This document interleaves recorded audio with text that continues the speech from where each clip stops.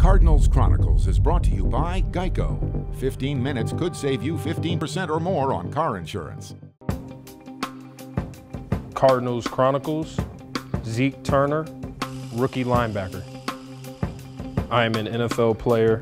For me, that means an organization trusted me enough to get the job done and believed in me. I am living out my dream.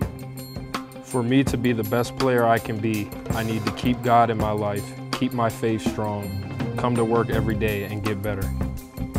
My love for the game goes back to when I was six years old and first started playing football.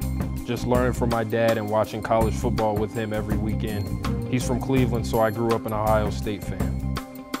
Every Sunday when I take the field, I know my assignments and I'm ready for anything. I'm prepared for my job on special teams or my backup role if need be, so I'll be ahead of the game. Having Turner on the back of my jersey makes me proud because it represents my family. I also want to represent the Cardinals name on the front. It means the world to me because I'm the one building my legacy, which is all the sacrifices I've made to get here. I'm striving for greatness. In my first season as an Arizona Cardinal, I want to make an impact in any way and I want to help this team win.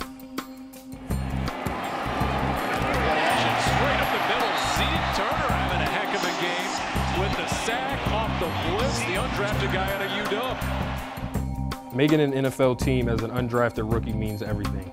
You look around the 53-man roster and see first-round picks left and right and have to be humble and grateful for every opportunity because just like that, you could be out of here. You just come in with that chip on your shoulder every day and take advantage of every opportunity. Getting recognized for my special teams play means a lot. It means that coaches can trust me more, and it means that I can keep building on the foundation that I have laid. When I walk away from this game, I want to be remembered as a hard worker who came to work every day and was an outstanding teammate that was coachable. Those are my thoughts.